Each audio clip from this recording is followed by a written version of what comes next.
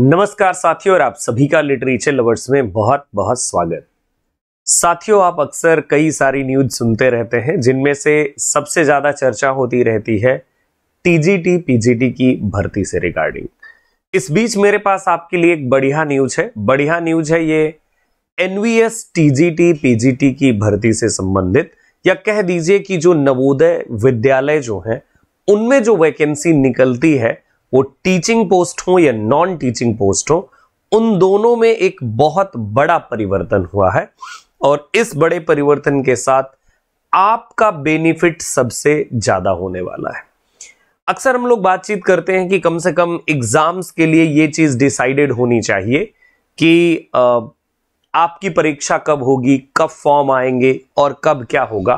तो ये सारी चीज़ें आप अक्सर ये जो है सोचते रहते हैं। नवोदय विद्यालय समिति ने कुछ ऐसा ही एक डिसीज़न लिया है। ये दोस्तों नोटिफिकेशन है आठ पाँच दो हज़ार चौबीस का और इस नोटिफिकेशन में इस बात को कंप्लीटली मेंशन किया गया है। मैं आपके लिए सब्जेक्ट पढ़ देता हूँ। सब्जेक्ट है model calendar for activities to be undertaken for direct recruitment and promotion चाहे वो डायरेक्ट रिक्रूटमेंट हो या प्रमोशन हो through LDCE, LDE assessment of vacancies there of यानी वैकेंसीज कितनी खाली हैं इसका असेसमेंट कब कौन सी प्रक्रिया कब होगी? रिज़ल्ट कब आएगा? फॉर्म कब आएँगे? क्या क्या प्रक्रियाएँ कब होंगी? इन सारी चीज़ों को लेकर के एक विशेष तौर से इन्होंने ये नोटिस दिया है। तो दोस्तों ये बेसिकली इन्होंने एक्टिविटीज़ में क्या क्या शामिल किया है थोड़ा सा देख लेते हैं। Vacancies, assessment for the vacancy year and finalization of MOU with recruitment agency. यानी वैकेंसीज का असेसमेंट किया जाएगा वैकेंसी ईयर के लिए। कब किया जाएगा? तो ये हर साल थर्टींथ जनवरी यानी by thirteenth of Jan sorry January नहीं जून यानी 30 जून तक बेसिकली जो है प्रीवियस ईयर यानी 30 जून तक कर लिया जाएगा और फिर इसके बाद क्या होगा? अगली प्रक्रिया नोटिफिकेशन आएगा। यानी जब पता चल जाएगा कितनी नंबर ऑफ़ पोस्ट हैं, कितनी सारे जो है नवोदय विद्यालयों में पोस्ट खाली हैं तो फिर जब ये पता चल जाएगी बात तो नोटिफिकेशन आउट होगा पोर्टल में और नोटिफिकेशन कब तक? 15 जुलाई तक। 15 जुलाई तक नोटिफिकेशन आ जाया करेगा। मतलब अब आपको यह परेशान होने की ज़रूरत नहीं पड़ेगी कब नोटिफिकेशन आएगा कब वैकेंसीज आएँगी, चाहे जितनी वैकेंसीज आए, चाहे जो नंबर आप पोस्ट हो, लेकिन ये डिसाइडेड रहेगा। एप्लीकेशन इनवाइटिंग का की जो प्रक्रिया है, ये 15 जुलाई से 15 अगस्त तक। हर साल 15 जुलाई से 15 अगस्त तक ये प्रक्रिया चलेगी, यानी कि आप जो है फॉर्म अप्लाई कर सकते हैं। इसके बाद आती है बात एग्ज़ाम की, यानी सबसे पहले तो पता चल जाए कितनी वैकेंसीज है। वैकेंसी पता चल गई तो उसका नोटिफिकेशन आ गया। नोटिफिकेशन आ गया तो भाई एप्लीकेशन फॉर्म भर दो। और एप्लीकेशन फॉर्म भर दिया तो एग्ज़ाम की तैयारी। अब एग्ज़ाम जो है कब तक हो जाया करेगा, यानी 30 सितंबर तक एग्ज़ाम हो जाएगा। बाई थर्टी थर्टींथ ऑफ़ सितंबर यानी 30 सितंबर तक एग्ज़ाम हो जाया करेगा।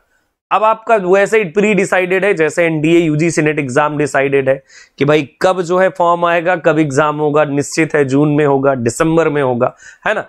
इसके बाद जो देखिए डिस्प्ले ऑफ़ मेरिट लिस्ट अब देखिए एग्ज़ाम जो है सीबीटी बेस्ड होगा कंप्यूटर बेस्ड टेस्ट होगा, ठीक है? इसके बाद आगे अगर हम देखें तो आगे भी इन्होंने कुछ क्लैरिटी दी है, ज़बरदस्त क्लैरिटी है, देख करके जिसे अच्छा लगा मुझे भी। फिर इसके बाद देखिए क्या होगा? डिस्प्ले ऑफ़ मेरिट लिस्ट यानी शॉर्ट लिस्टेड जो कैंडिडेट हैं, उनकी लिस्ट आएगी कब तक? 31 अक्टूबर तक। अक्टूबर के महीने में। यानी देखिए जून, जुलाई, फिर दिन अगस्त यहाँ पर जो देखिए स्किप है, सितंबर, अक्टूबर। अक्टूबर मंथ में क्या हो जाया करेगा? बेसिकली लिस्ट आ जाया करेगी रिज़ल्ट आ जाया करेगा। कि भाई ये ये कैंडिडेट एलिजिबल है। इसके बाद देखिए, अब हो सकता है कि कई और प्रोसेसेस हो। किसी में देखिए स्किल टेस्ट हो सकता है, किसी में पर्सनल टॉक हो सकती है डॉक्यूमेंट वेरिफिकेशन ये देखिए वेरियस वैकेंसीज के अकॉर्डिंग है। क्योंकि नॉन टीचिंग वैकेंसी है, जैसे तो मान लीजिए टाइपिंग टेस्ट है। पर्सनल टॉक है, यानी इंटरव्यू टाइप की चीज़ें हो सकती हैं। डॉक्यूमेंट वेरिफिकेशन तो ये कब तक हो जाएगा? 30 नवंबर तक हो जाया करेगा। 30 नवंबर, है ना? अक्टूबर के बाद नवंबर एक महीने के भीतर जो है अपना सब हो जाएगा और फिर फाइनल सिलेक्टेड लिस्ट आ जाएगी, जिससे आपको पता चल गया कि भाई ये पूरा सिलेक्शन हो गया है, अब कोई दिक्कत है नहीं, परेशान होने की ज़रूरत है नहीं। तो कैसे? फाइनल जो है सिलेक्शन वाली जो लिस्ट है, वो 31 दिसंबर तक आ जाएगी, यानी कि नया साल आपके लिए खुशियाँ लेकर के आने वाला है। तो ये भी बड़ा ज़बरदस्त है। इसके बाद बेसिकली गाइज़ अपॉइंटमेंट यानी फाइनल लिस्ट तो आ गई। अब अपॉइंटमेंट तो भाई नए साल में अपॉइंटमेंट ले लीजिए। मंथ ऑफ़ जनवरी से अपॉइंटमेंट शुरू हो जाया करेगा। तो अब ये जो एनवीएस की वैकेंसी है नवोदय विद्यालय समिति की जो वैकेंसी है नवोदय विद्यालय स्कूलों में, उसके रिगार्डिंग एक पूरा का पूरा कैलेंडर जारी किया है।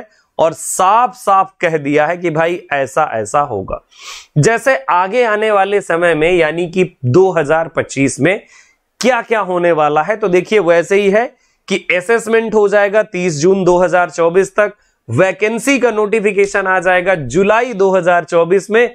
तो भाई रेडी हो जाओ तैयारी के लिए, है ना? सिलेबस पिछला वाला देख लीजिए, क्योंकि अभी सिलेबस पर कोई अपडेट नहीं है। तो जो पिछला सिलेबस है, जैसे अगर आप इंग्लिश के स्टूडेंट हैं तो मैं बता दूँ आपको, जो डी ट्रिपल एस बी का सिलेबस है, जो ई एम आर एस का सिलेबस है, वही सिलेबस है एनवीएस का तो बढ़िया मज़े से, है ना?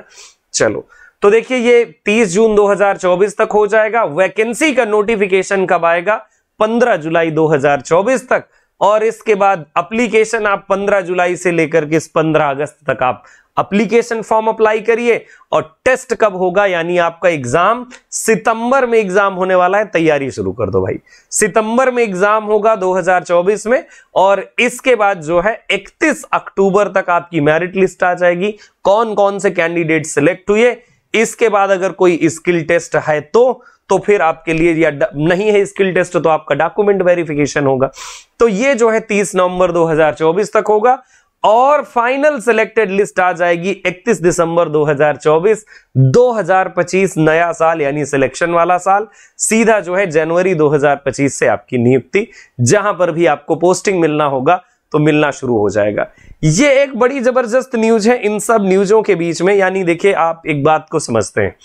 हम कई सारे एग्ज़ाम्स की बात करते रहते हैं। मैं तो ये चाहूँगा कि भाई यूपी के भी जो एग्ज़ाम होते हैं या किसी भी स्टेट के जो एग्ज़ाम होते हैं तो कम से कम छात्रों के लिए ये सारी चीज़ें होनी चाहिए।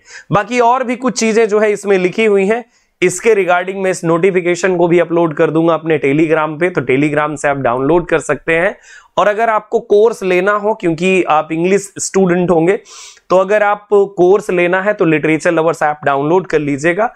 और अभी तो इस समय थोड़ा ऑफ़र भी चल रहा है तो ऑफ़र भी चेक कर लीजिएगा, ऐप डाउनलोड करके और बस, वहाँ से कोर्स लेकर के जो डी ट्रिपल एस बी वाला है या फिर कहिए ई एम आर एस वाला है सेम सिलेबस है। इवन मैं आपको सिलेबस की एक झलक दिखा देता हूँ। सेपरेट वीडियो में भी मैं आपसे डिस्कस करूँगा। देखिए, जैसे NVS TGT PGT same syllabus होता है। और मैं आपको एक सिलेबस की झलक दिखा देता हूँ। ये बायोलॉजी का हुआ। ये मैथमेटिक्स है।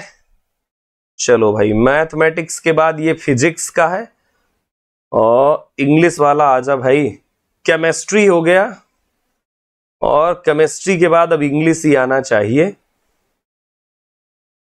कॉमर्स हो गया और कॉमर्स के बाद जो है, अब आ जाएगा। ये लीजिए आईटी है। अच्छा अभी इंग्लिश नहीं है, इंग्लिश आने वाला होगा। तो मैं एक बार आपको सिलेबस भी दिखा देता हूँ, आप सिलेबस भी देख लीजिए ताकि आपको ये रहे कि भाई हाँ सिलेबस यही है हमारा। मैच कर लीजिएगा आप लोग भी बैठ करके। ऐसा नहीं है कि मैच ना करें, मैच करना बड़ा ज़रूरी है। ओह, भाई, जल्दी से आ जा, बच्चों को बड़ी जल्दी है देखने की। Network concept. ये इकोनॉमिक्स हो गया, इकोनॉमिक्स के बाद इंग्लिश आ जाएगा भाई, शायद।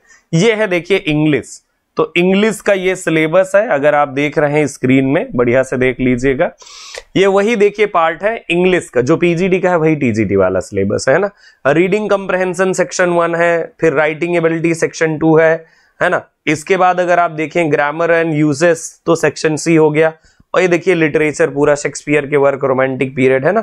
वो सारा जो आपका जो है डी ट्रिपल एस बी में जो सिलेबस है, या जो सिलेबस कह दीजिए कि उसमें है ईएमआरएस e वाला, वही सिलेबस है। सेम सिलेबस यही है, ठीक है? तो कोई परेशान होने वाली बात नहीं है डायरेक्टली वही। और नया बैच भी मैं लॉन्च करूँगा तो वो भी आपके लिए आनंददायक चीज़ है। तो बस इसीलिए गाइस मेरे साथ ट्यून भी रहिए और बाकी सब देखते रहिए।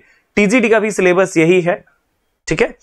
तो फिर मिलते हैं किसी अगले वीडियो में, तब तक के लिए नमस्कार। ये अच्छी न्यूज़ आप तक मुझे पहुंचानी थी और मैंने पहुँचा दिया। अथेंटिक न्यूज़ के लिए और स्टडी के लिए।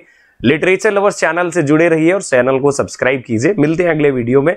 तब तक के लिए नमस्कार। जय हिंद, जय भारत।